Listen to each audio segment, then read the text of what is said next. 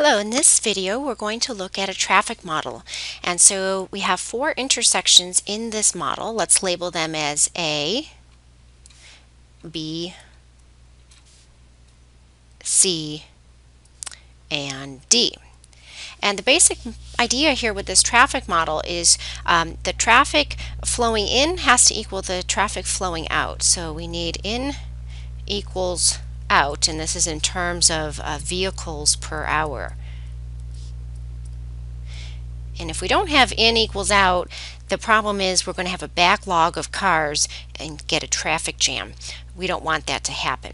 So this is a particular uh, setup for pretend city, and this is, example is actually from uh, Gareth Williams' uh, textbook what we want to ask here, what we want to answer is what is the minimum number of cars?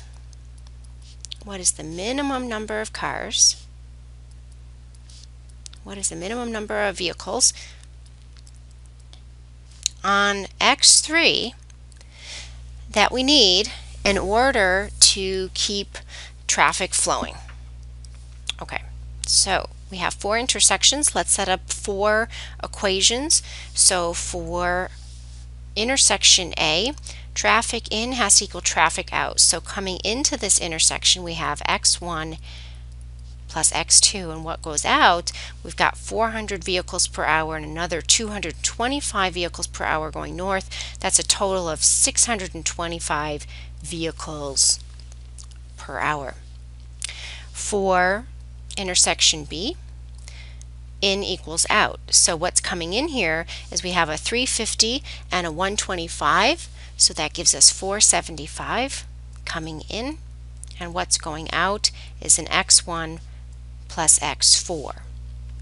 For intersection C, again, in equals out, so what's coming in here is a x3 plus a x4, and what goes out is 900.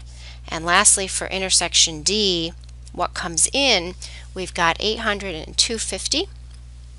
So that gives us 1050. And what's going out is x2 plus x3. If we put this in an augmented matrix,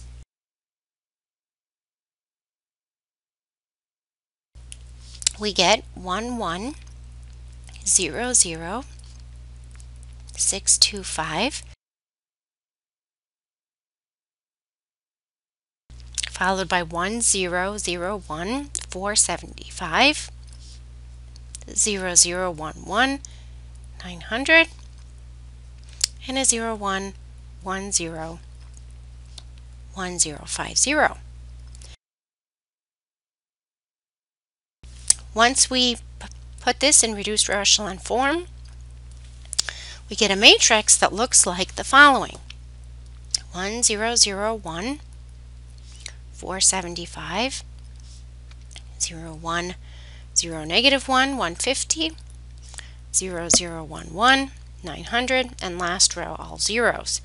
And so what we find is we get infinitely many solutions, and that's a good thing in this scenario because if there was only a unique solution, um, we'd have to regulate traffic very tightly in order to make this city flow well. But let's take a look at the types of solutions we get because we're really interested in, you know, what's the minimum flow on X3. So let's see, X1, X2, X3, and X4 is going to be a free variable. But X1 is going to be negative X4 plus 475. And in x2, that's going to be x4 plus 150. And x3 is going to be negative x4 plus 900. Now, in terms of minimal flow, uh, traffic flow must be positive in this model anyways because if it were negative we'd have cars driving backwards and that would lead to all sorts of trouble. So we, we mandate that the traffic flow must be positive and so to figure out the minimal flow along X3 we have to figure out um, what's the maximum that x4 could be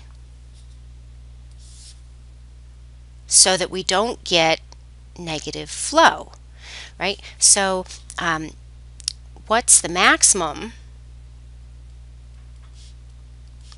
What is the maximum of x4? Because if we maximize x4, that leads to a minimum on x3, and that's happening right here because of this uh, last equation. All right, so, so now we're looking at what's the maximum of x4.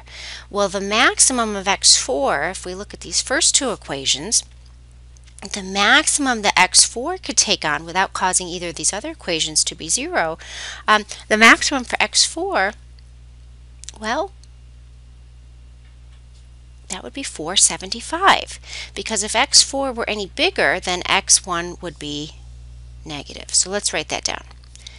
The max flow on x4 would be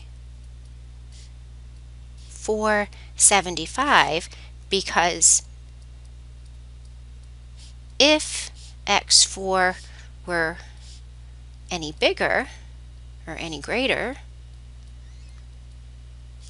then the equation x1, which is negative x4 plus 475, um, if x4 were any greater, x1 would be negative, and we can't allow x1 to have negative traffic flow. All right, so the max flow on x4 would be 475. That's important information. If x4 is 475, then the min flow on X3 turns out to be 425.